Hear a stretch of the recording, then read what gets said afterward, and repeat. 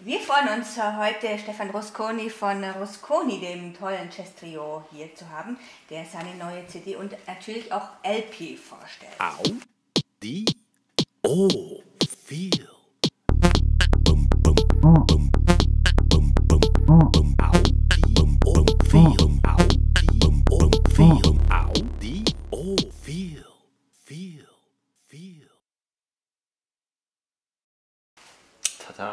Tada. Tata, genau. Genau. Stefan, kochst du gerne? Ja. Man Ähm, sieht es dir ja nicht unbedingt an. nee, ja, und, äh, ich koche gerne und äh, gut, ich, wenn ich unterwegs bin, dann sagen wir so, ich esse sehr gerne gut. Auch Und Italienisch oder? Auch italienisch, ja. Äh, Ich, ich habe gerne ähm, schlichte Küche, so ehrliche Küche, so äh, italienische Küche, empfinde ich so. Ähm, ich bin jetzt nicht so ein Soßentyp. Ja, aber du kochst auch gerne. Ich frage wegen dieses Küchenprojekts.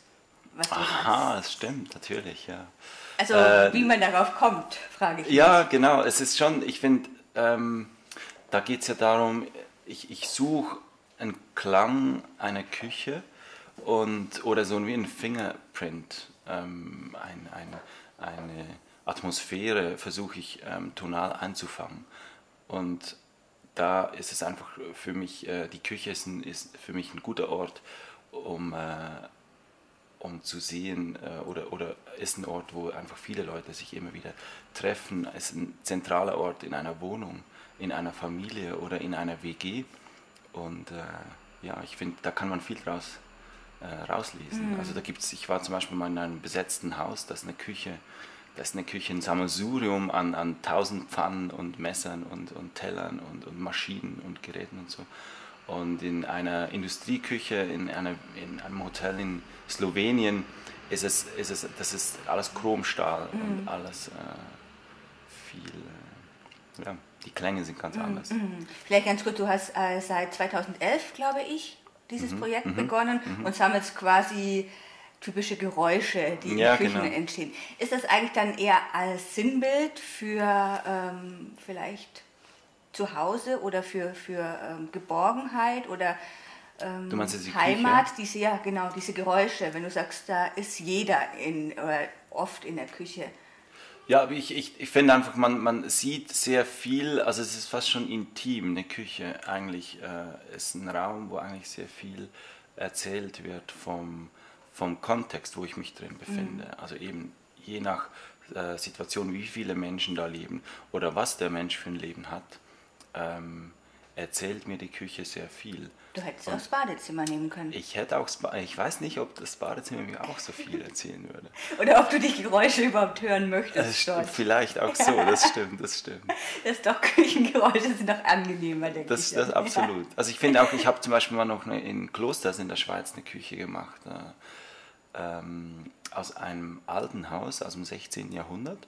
Und da waren halt, da gab es halt nur äh, Holztöpfe äh, und Kellen und ähm, der Herd war natürlich ein Ofen und es gab halt viel ähm, irgendwie noch äh, gegossenes Eisen und so weiter. Und das ist eine, also ist eine ganz andere Klangfarbe. Du, ich mache dann ja eigentlich Tracks draus. Also richtig Soll das dann auf CD veröffentlicht werden oder kommt das ins. Museum? Oder? Ja, ich, ich bin, ich mache dann immer noch mit meiner Lomo, mache ich dann noch Bilder davon und versuche so ein, so ein intuitiv, so, so eine Assoziation, so ein, so ein Moment, so einen Eindruck noch einzufangen. Es muss gar nicht unbedingt so ein formuliertes, präzises Bild sein, so das ist die Küche und ich sehe jetzt alles.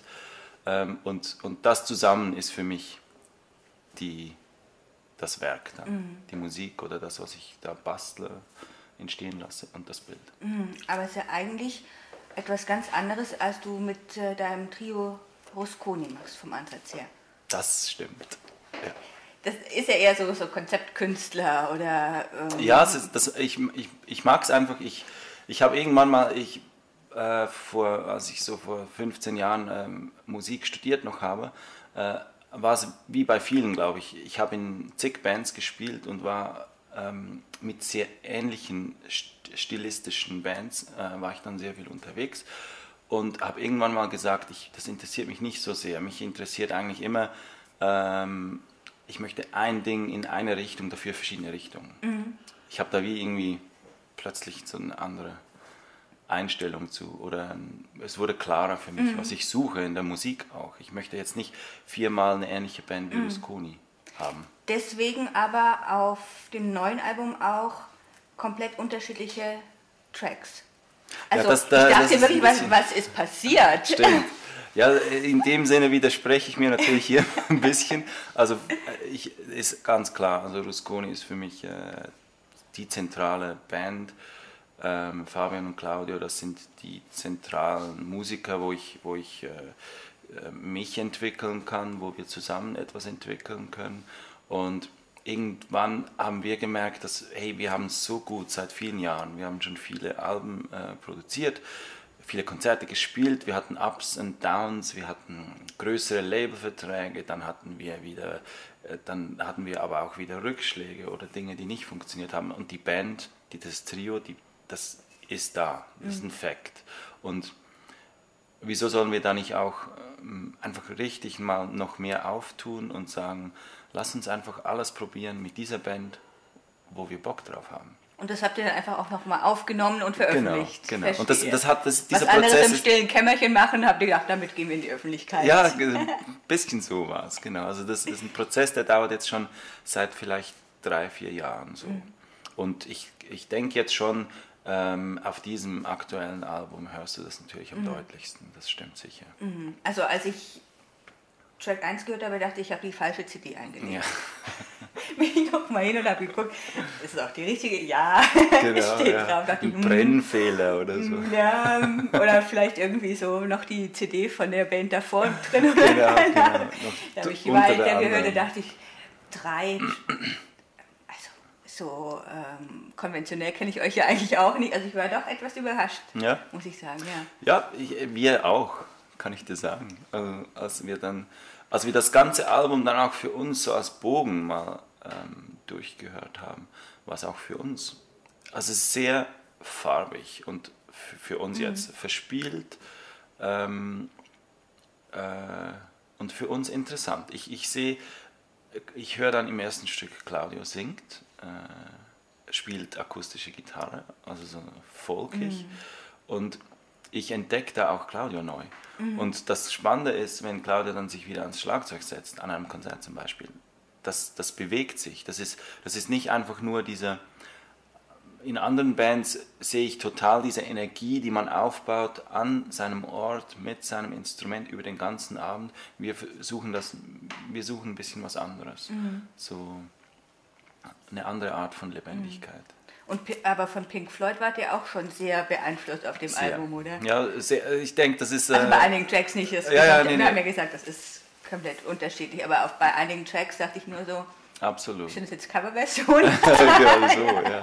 Nee, das ist, stimmt schon. Vor allem Fabian, der, der vor etwa zwei Jahren die Gitarre entdeckt hat, die elektrische. Und der, ähm, er sagt mir dann jeweils, ich habe keine Ahnung, was ich hier spiele und so. Also es ein bisschen übertrieben, aber oder untertrieben, ähm, aber, aber und dann ich, das ist genau so, wie es gut ist. Ja. Also es ist, äh, es kommt sehr aus dem Moment, ähm, aus einer langjährigen Beschäftigung mit Musik, aber dann im Moment aus sich. Und das ist schon für uns ähm, auch mit diesen, wir haben ein Stück, wo wir Instrumente tauschen, das ist für uns schon spannend zu sehen, wenn jetzt, äh, wenn ich auch für mich als Musiker, ich habe jetzt viele, viele Jahre vor, vor hinter dem Klavier verbracht, mich mit Musik beschäftigt, höre viel Musik, ähm, was passiert, wenn ich, ja, wenn ich mal was anderes in die Hand nehme Oder singst, oder singen oder so, Ja. genau.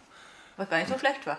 Dankeschön. Also das ist, das ist, äh, also wir, wir, wir, in dem, was wir dann tun, das, das tun wir dann schon häufig. Also so, es ist vielleicht nicht so ein Übprozess jetzt auch in meiner Stimme drin, aber die Beschäftigung mit der Stimme und dem Text oder so, das ist etwas, was mich dann schon nicht nur einfach so kurz am Konzert mal interessiert. Also von dem her, da entwickelt sich schon was, aber es ist nicht so dieses studierte, gelernte.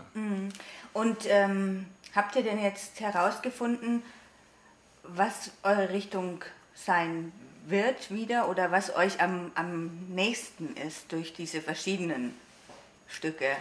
Ja, so kann man Oder geht- so kann oder geht sehen, es so das stimmt. weiter? Ja, genau. Ich habe mir das gar nicht so überlegt. Ähm, ich kann jetzt nicht sagen, wo es hingeht. Wir, wir nennen für uns jetzt mal einfach die Musik Modern Creative Music, also moderne Musik aus dem Heute, ähm, irgendwie beeinflusst von was wir sehen, was wir hören, was wir sagen möchten, auch jetzt mit der textlichen Ebene, was ich schon sehr spannend finde, dass das jetzt auch bei uns ein Thema ist. Ähm, stilistisch, ich, ich, für mich hat die Platte schon einen Bogen. Es ist schon, es ist schon unsere Band, es ist schon unsere Musik und ich denke, ähm, so vielfältig kann das weitergehen oder wird das höchstwahrscheinlich weitergehen. Bist du denn als Mensch schnell gelangweilt? Ähm, nee, ich bin nicht schnell gelangweilt, gar nicht. Ich bin auch sehr gerne lange an was dran. Aber ich mag, äh, ich mag's bunt. Ich mag verschiedene Welten. Ich mag, äh, ich mag, wir werden auch mit Rusconi einen zweiten Film in der Schweiz jetzt Musik für einen Film machen. Ähm, wir machen in Schweden ein Projekt mit Tanz, wo wir zusammen mit, mit der Chefin, der Choreografin dieser Tanzgruppe, ähm, versuchen gegenseitig, auch künstlerisch, in die, in die, in die Zustände ähm, reinzureden oder, oder einander, sich auszutauschen darüber. Und sie auch. Also wir haben gegenseitig auch gesagt, lass uns das mal so versuchen, dass es nicht immer nur, dann gibt es die Musik und dann gibt es Tanz dazu. Und jeder macht so sein Ding, sondern also, Sondern die Anforderungen vielleicht auch, die Tanz eigentlich an Musik hätte, die aber nie erfüllt werden, weil die Komponisten Ja. sich damit nicht beschäftigen. Ja, oder, Sowas? ja, oder einfach, dass man, es ist auch ein Luxus. Wir nehmen uns zusammen Zeit, was zu entwickeln. Mhm. Ich meine, das gibt es im Tanz ganz sicher auch viele Kannst du Male. dann zwischendrin auch mal, damit Also du das es ist spürst? vertikalen Tanz, das ist ziemlich äh, Okay. was Spezielles ist an der Wand. So ein 30 Wow. Meter hohe, hohes Silo in Schweden, in ja, Ista. ihr Schweizer, ihr könnt klettern. Das ist doch Ja, haben wir auch gedacht. Perfekt. Haben wir auch gedacht. Ja, mal schauen. Also wir werden an der Wand auch tanzen. Mhm. Ja, mal so weit. ja, cool, aber mit Sicherung irgendwie. Ja, ja, das ist alles dann, Okay. genau, das hast du natürlich. Verstehe. Nee, nee, das ist gesichert Ja. und äh, Habt ihr denn in den Bergen geübt? Äh, Oder ähm, ihr kommt aus Zürich? ähm, Bist du auch in Zürich Stadt aufgewachsen oder kommst du vom Land eher? Ja, nee, ich komme aus Zürich, aus der Mhm. Stadt. Und Fabian auch. Wir sind fast Nachbarn, also ein paar hundert Meter auseinander. Äh, Haben uns als Kinder nicht gekannt, haben aber Schulen, die gleichen Schulen, Mhm. irgendwie so die Primarschule heißt das da, in der, die Unterstufe in der Schweiz, ähm, haben uns eigentlich, hätten uns kreuzen können, so auf dem Spiel, auf dem Pausenplatz, Mhm. Spielhof so. Und äh, Claudia kommt aus der Innerschweiz. So, also Claudia hat sicher noch einen, einen, einen vielleicht natürlicheren Bezug zu den Bergen als jetzt ich und Fabian, aber Fabian und ich sind beide große Bergfans. Also wir sind auch viel, wenn es geht, auch einmal im Jahr länger in den Bergen unterwegs, äh, zu Fuß. Es ist ja was ganz Besonderes, wenn man irgendwie oben auf dem Berg steht Hm. und ähm, manche fühlen sich klein, manche fühlen sich ganz groß. Das Hm. ist, äh, gibt ja jedem etwas anderes. Hm. Was, was ähm, sind, bedeutet das für dich, die Berge? Ist das Freiheit oder? Ja, ich, ich empfinde es jetzt nie einengend. Also ich kenne natürlich auch viele Geschichten von Schweizer Autoren, die irgendwie, die, die sich mit Bergen oder, oder ähm, mit dieser Situation beschäftigen, auch hinten in einem Tal zu leben zum Beispiel. Ich kann mir das schon vorstellen, wenn das ein Zustand ist, ähm, dass man da sicher auch andere ähm, Zustände, dann äh, Emotionen äh, in einem hochkommen. Aber für mich ist, sind die Berge schon ein, eine sehr starke Verbundenheit zu diesem Land, wo ich herkomme. Und äh, bedeutet für mich dann da Freiheit. Das Land selber bedeutet für mich aber nicht nur Freiheit. Also da wird es dann ein bisschen komplizierter. Vor allem jetzt im Moment, wie fühlt es sich an, Schweizer zu sein im Moment? Ja, ich sitze hier in Berlin auf einem vielleicht deutschen Sofa mit einer sicher deutschen Frau. Ja, ich, ich, es ist schon, also eben, es gibt natürlich die, die Tradition der Schweiz, Themen gemeinsam anzuschauen und darüber zu entscheiden. Und diese Tradition ist wichtig und ähm, die hat für mich und ich glaube für sehr viele Schweizer auch absolut die Berechtigung, ähm, weiter zu existieren. Und dann verliert man manchmal. Also ich habe verloren in dieser Abstimmung. Und das ist halt auch in dieser Geschichte der Entwicklung der Schweiz ist das ein Teil. Und dann hat aber die Schweiz auch immer wieder Lösungen gesucht und gefunden. Und ähm, das ist jetzt ein Prozess. Und dass das jetzt so ist, ist ein, äh, ich finde es schade. Ich finde es auch, es ist sicher eine verpasste Chance, auch ein anderes Signal zu setzen, Europa zu zeigen, dass, es, dass die Schweiz ähm, Europa auch braucht und äh, auch gerne ähm, in diesem Europa lebt oder ist. Und das Signal war jetzt ein anderes, aber der Kern wird immer noch der sein und jetzt wird man Lösungen suchen müssen. Andererseits lieben wir ja eigentlich die Schweiz auf ihre Eigenständigkeit. Also- da hat man sie wieder mal gesehen. Aber natürlich nicht meine Eigenständigkeit. Das Ja. ist dann für, für die, die verlieren, ist das schon auch hart. Also das, ich habe äh, in Bremen haben wir mit Rusconi am Tag der Abstimmung ein Konzert gespielt, also Sonntag und dann war es die, da, am Abend war es dann klar und da haben wir gespielt in der Glocke. Und da haben schon einige Leute uns nach dem Konzert dann auch darauf angesprochen. Weil Aber hat, nicht ausgebuht oder so. Nee, gar nicht. Also wir sind ja auch, also wir haben ja in Deutschland äh, mit Rusconi, das ist einfach äh, fantastisch. Also wir, wir kommen nun schon seit ein paar Jahren her.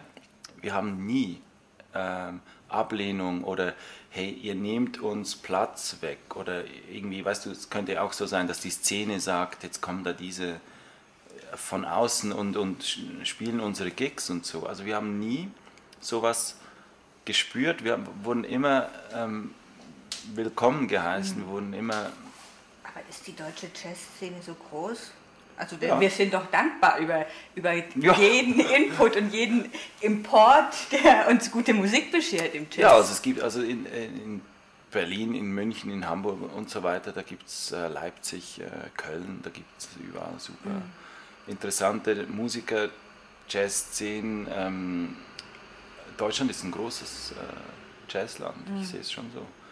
Ähm, und die Konzerte sind beschränkt, die Plätze. Und ja, das, die Musiker sind das eine natürlich, äh, das hat für uns auch immer gepasst und die Leute aber auch, äh, es ist einfach, oder auch die Veranstalter, oder man ist einfach hier als Schweizer, ich wurde nie, auch in Berlin, es wurde nie irgendwas, ähm, ich, ich fühle mich sehr wohl und äh, ich schätze das sehr. Im Und Gegensatz das, zu den Schwaben, die werden hier mehr gedisst als die Schweizer, glaube ich. vielleicht, ja. ich weiß es nicht. Es sind einfach zu viele Also wahrscheinlich. es braucht ja auf einer, auf einer lockeren, humorvollen Ebene ist es ja auch, äh, erlebe ich das schon Mhm. auch, dass ich als Schweizer dann mal irgendwie, da gibt es schon einen Witz oder irgendwie äh, einen Kommentar zu, zu, zum, zur Farbe meiner, meines Deutsches und so. Vielleicht auch, weil wir natürlich mit Schweizer Musikern erstmal DJ Bobo assoziieren.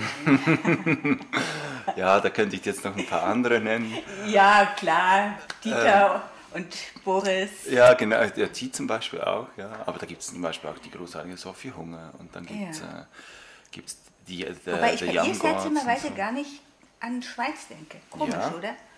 Da müsste man sie jetzt fragen, was sie dazu sagen Ja. hat. Ja. Wäre mir jetzt bei Schweiz überhaupt nicht eingefallen. Zum Beispiel. Mhm. Also jetzt in, in Verbindung mit. Seltsam. Ja, Mhm. aber natürlich gibt es auch, gibt's auch andere. Aber äh, in Deutschland, so in der Allgemeinheit, äh, sind die natürlich nicht unbedingt bekannt. Sondern da Ja, ja, gibt's halt klar. wirklich nur Aber das sind wir Bobo. dann auch nicht. Also wir sind dann ja auch irgendwo in einem Segment, da haben jetzt einige Leute uns schon mal live gesehen, äh, sprechen über uns, haben uns schon gehört. Ähm, ja, also nur um das noch kurz so einen Bogen abzuschließen, in diesem, aus diesem Sinne oder aus dieser Perspektive oder auch dieser Wärme, die wir von äh, Deutschland äh, immer empfunden haben oder die uns entgegengebracht wurde, ist es schade, dass das Ergebnis so für uns ähm, so ähm, jetzt als Faktum hier steht. Aber wir werden da eine gute Lösung finden. Vielleicht hilft ja die Musik. Ja, vielleicht. Und Mhm. Ihr habt schon wieder neue Themen, über die ihr singen könnt. Absolut. Oder, oder spielen, je nachdem. äh, Also wenn genau. ihr jetzt ja wieder den Gesang Ja. da mit drin habt und Ja, Texte. das stimmt. Äh, und wovon lasst ihr euch sonst äh, inspirieren oder ähm, beeinflussen? Ähm, also bei mir ist es, ist es sicher sehr stark mein Umfeld. Ich habe ich hab, äh, viele verschiedene ähm, auch da, wenn ich eigentlich jetzt so drüber nachdenke, sind, es sind Theaterleute, es sind, ähm, es sind äh, Mathematiker, es sind äh, Musiker natürlich, es ist aber auch ein Koch da und es ist auch ein Autor und ähm, ein Anwalt und äh, das ist irgendwie, das inspiriert mich sehr, so dieses, dieses, diese Facetten des Lebens. Das heißt, wenn du jetzt eine Kindergärtnerin kennenlernen würdest, könnte es auch sein, dass du in Zukunft einmal eine Musik-CD für Kinder machst. Ähm, absolut. Also wir, wir machen mit Rusconi ein Kinderprojekt. Im, Ah ja, äh, das war, war jetzt so, so Zufallstreffer. genau. Genau, da Okay. werden wir das Rusconi Kinder Orchestra wird da gegründet. Genau, und da werden wir zwei Konzerte haben und zehn Tage mit Kindern zusammen ein Programm entwickeln. Hast du selbst Kinder? Nee, Fabian hat drei. Das, äh, wir sagen, also es fühlt sich so an Kriegt wie jeder eins. Genau, kriegt jeder eins. Haltet ihr mal untereinander Fabian hat die auf. ganze Arbeit. ja, und, die, und, Und ihr pickt euch das, was äh, euch gerade genau, passt, das Kind genau, mal verstehe. genau. Ja, und wenn du jetzt einen Weltraumforscher kennenlernen würdest, würdest du dann oder einen Astronauten irgendwie Musik im Weltall konzipieren? Also Ja, lässt, du dich, super lässt du spannend. dich wirklich dann auch von Menschen ähm, dahingehend beeinflussen, ist jetzt das falsche Wort, aber vielleicht inspirieren. Inspirieren, so, ja, absolut. Also ich meine, das wäre Wahnsinn. Aber da denken schon viele drüber nach. Ein Konzert auf dem Mond oder so.